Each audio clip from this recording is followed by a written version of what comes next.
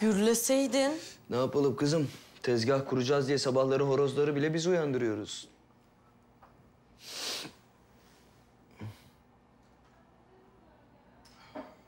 Abi gidip evine yatsana. Ali. Simay.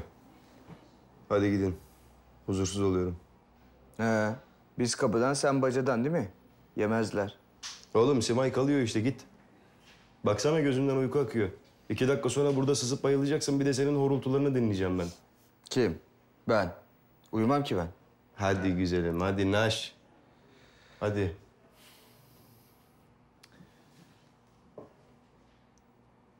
Ya aslında ben sana bir şey diyecektim.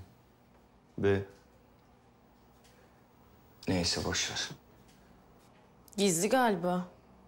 Yok değil de... Neyse sonra söyle. ne oğlum merak ettim. Ben kendime bir çay alıp geleyim.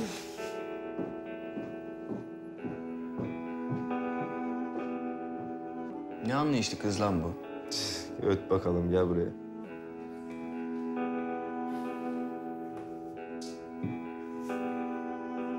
Kardeşim bende bir emanetim var. Aslında bir değil, 20 bin emanetim var. O ne demek lan? 20 bin lira, 20 bin. Annen bıraktı sana vereyim diye. Nereden bulmuş bu kadar parayı? Biriktirmiş. Allah Allah. Sen sermaye yaparsın da bir işin ucundan tutarsın diye verdi kadın. Biliyor senin kabul etmeyeceğini benden rica etti. Kabul etmem. Al işte. Oğlum kimsenin beş kuruşunu istemiyorum. Manyaklaşma oğlum. Beş kuruş değil ki 20 bin TL. Al koy cebine. Yeni bir başlangıç yapmak için yeter sana. Sonra ödersin yavaş yavaş. Borç kabul et. İstemiyorum Ali. Hasta etme adamı. Trip atacak zaman mı? Bak para bende. Senin emrine amade öyle yatıyor zulasında. Haberin olsun. Anneme bak sen ya. Sami Bey gibi cimri bir adamdan nasıl da kopartmış, biriktirmiş o kadar parayı. Lan bana bak. Babamın haberi olsa yüreğine iner ha.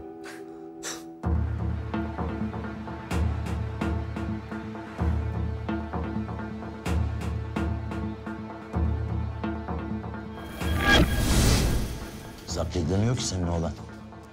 Adam olup beni dinleseydi en fazla altı ay yatar çıkardı. Biliyorum. Durmadan olaya karıştıkça cezası uzadı da uzadı. Tamam, ben onu beladan uzak tuttum ama hır çıkarmasına engel olamadım. Bunca olaydan sonra akıllandı tabii. Son olayla ilgili daha fazla ceza almamak için kimseye bir şey söylememiş. Ayağım kaydı cam parçasının üstüne düştüm diye yalan söylemiş. Bunu yaralayan ne oldu? Siyah'ın zaten içeride işi uzun. Kimse de bir şey söylemeyince Kuzey hastaneye, oradan da başka koğuşa. Böylece iş tatlıya bağlandı. Ama bütün suç Kuzey'de. Susmayacak da ne yapacak? Otursun oturduğu yerde.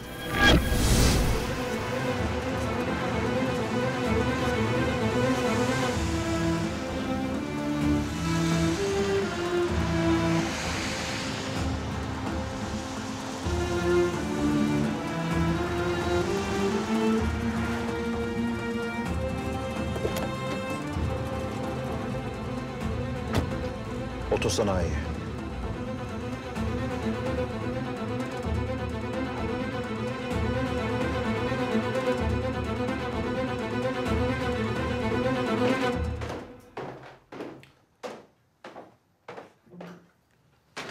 Senin de mi uyku tutmadı? Yo uyuyordum. Su içmeye kalktım. Saat üçe geliyor. Ortalıkta yok baban. Çok merak ediyorum oğlum. Nerede kaldı bu adam? Merak etme gelir. Oğlum başını derde sokacak diye korkuyorum.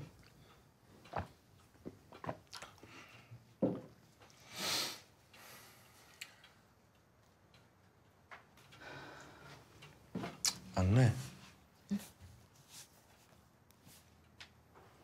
Bir şey soracağım. Sana verdiğim parayı ne yaptın? Verdin mi Kuzey'e? Ya benden almaz diye Ali'ye verdim. Ali verecek. Ha unuttum söylemeyi oğlum. Ben paranın 20 bin lirasını verdim. 8 bin lirasını tuttum. Niye böyle bir şey yaptın? Ben sana hepsini ver dedim. Oğlum bütün paranı verirsen sen ne yapacaksın? Ya acil bir şeye ihtiyacın olsa kimden istersin? Duruyor işte bende. Lazım olursa alır, bir ihtiyacını görürsün. Ya ben nasıl olsa kazanırım. Asıl Kuzey'in ihtiyacı görülsün diye verdim. Yavrum ha 20 bin, ha 28 bin. Ne fark eder? Kuzey çarçur edecek biliyorum. Kenara ayırdım, fena mı ettim? Sami? Ne? Çok şükür. Allah rahatlık versin. Sana da ya. Nerede kaldın? Çok merak ettim. Yürüdüm. Bu saate kadar. Nereye gittin? Çok merak ettim Sami. Etme çocuk muyum ben? Ne oldu ellerine? Bir şey olmadı. Ellerin yanmış. Hayır yok bir şey.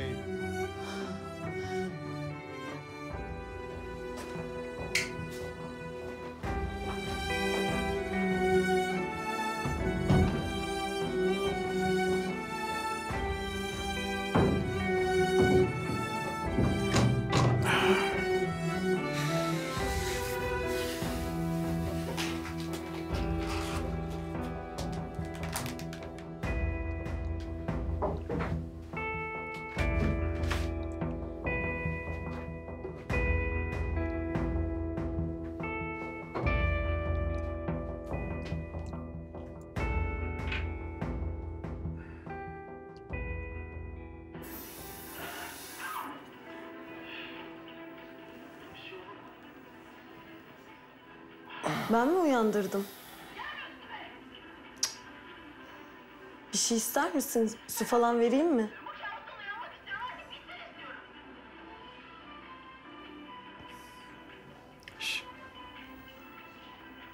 Sen gelsene bir iki dakika şuraya.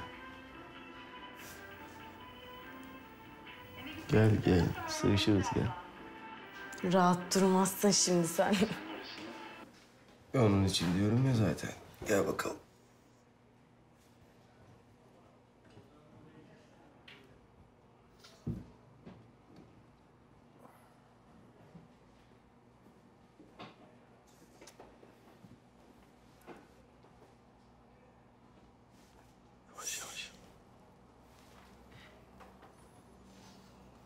Ne güzel, sıcacık.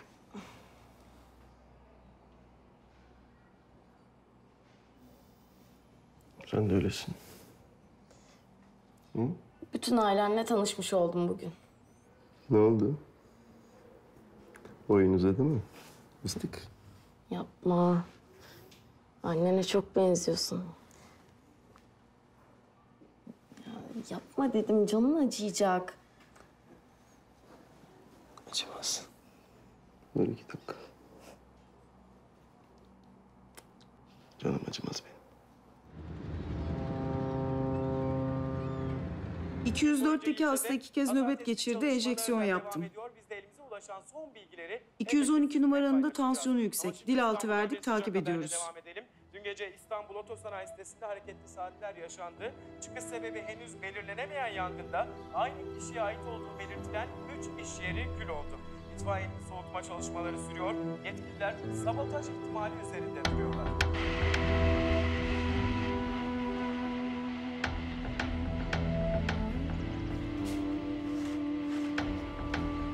İşiniz bitince şu camlara girişin.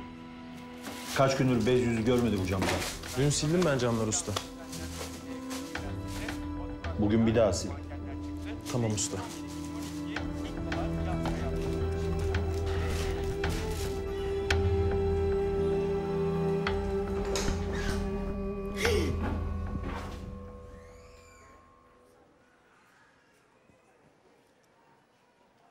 Günaydın.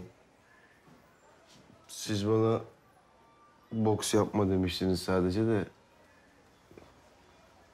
Yani ben ondan... Burası senin yatak odan değil, hastane.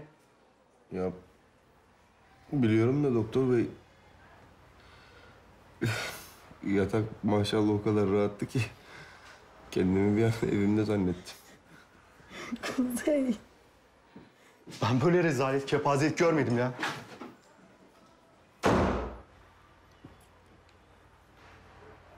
Çık hadi çık çık çık kovacaklar hastaneden çık çık.